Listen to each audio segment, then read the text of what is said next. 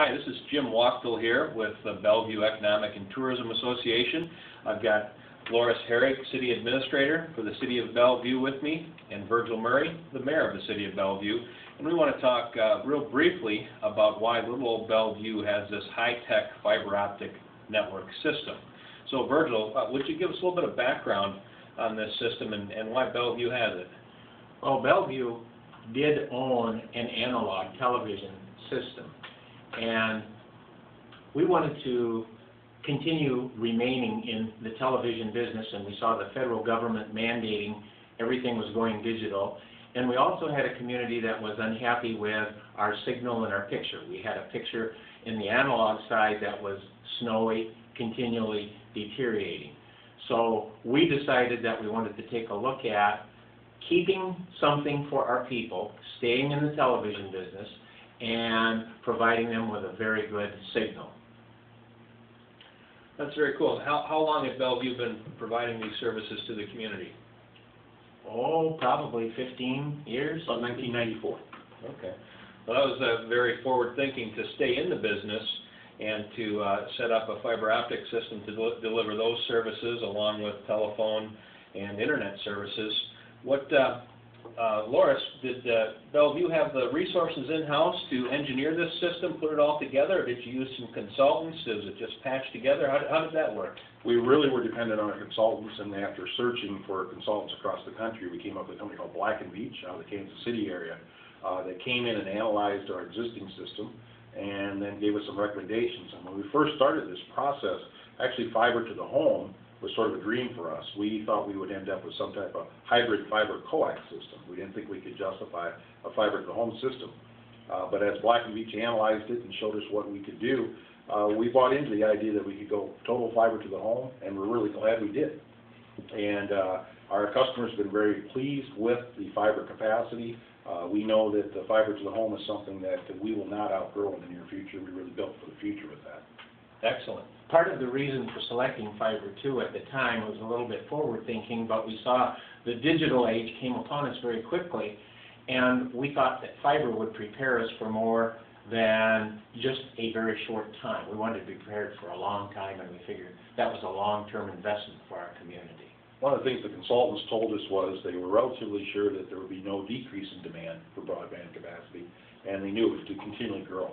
And if we would build a system for 2008 or 2009, we would be almost antiquated before the system came online. And so that's why we spent more money than we initially envisioned, uh, but we thought it was an investment in the future.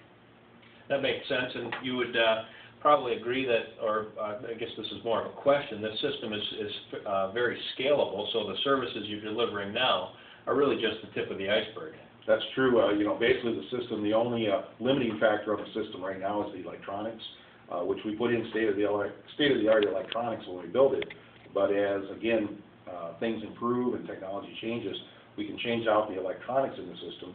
Uh, the fiber will always have the capacity, and we can upgrade additional capacity by upgrading the electronics in it. Great. And you've got essentially fiber to every address in the city, or if it's not there, it can uh, be installed in a very short period of time because the existing infrastructure is uh, throughout the community. We have uh, people on board. We've actually trained our own staff so that they can do the splicing. We have the equipment to take care of it. So if a new house is built, we can easily deliver the fiber right to a new home without much interruption at all. We've actually put ONTs or optical network terminals on every structure in town, even if the person at this time wasn't prepared to be our customer. Uh, we said, uh, we'd like to put it on their structure and they've given us permission. So basically, every house has an ONT on it, every business has an ONT on it, so they're ready to go.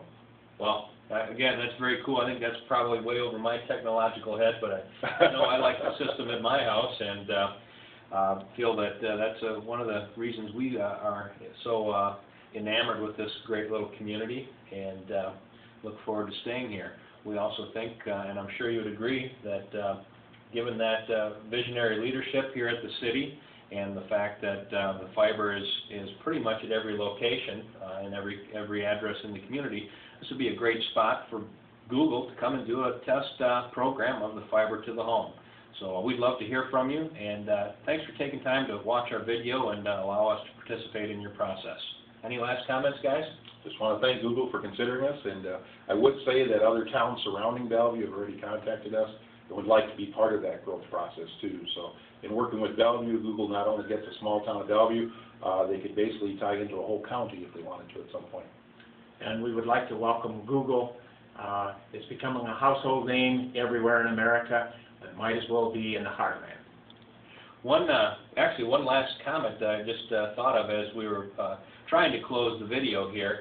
How many other towns uh, of our size or even larger in, in the U.S. do you think have the capability that uh, Bellevue uh, had the foresight to install here? The last I knew, there was probably only ten towns that had gone to the extremes we have gone to. It's, it's even more difficult in a larger metropolitan area to do what we've done. Uh, you couldn't imagine a Chicago or Detroit being able to say they have fiber to the home in every residence in town. Uh, so I'm not sure, I think ten was the last number I've heard that have done a total deployment like we did. Great. Well, again, thanks, guys, and uh, thanks for watching our video. We'd uh, love to have Google come and visit uh, Bellevue, Iowa on the mighty Mississippi. Thanks.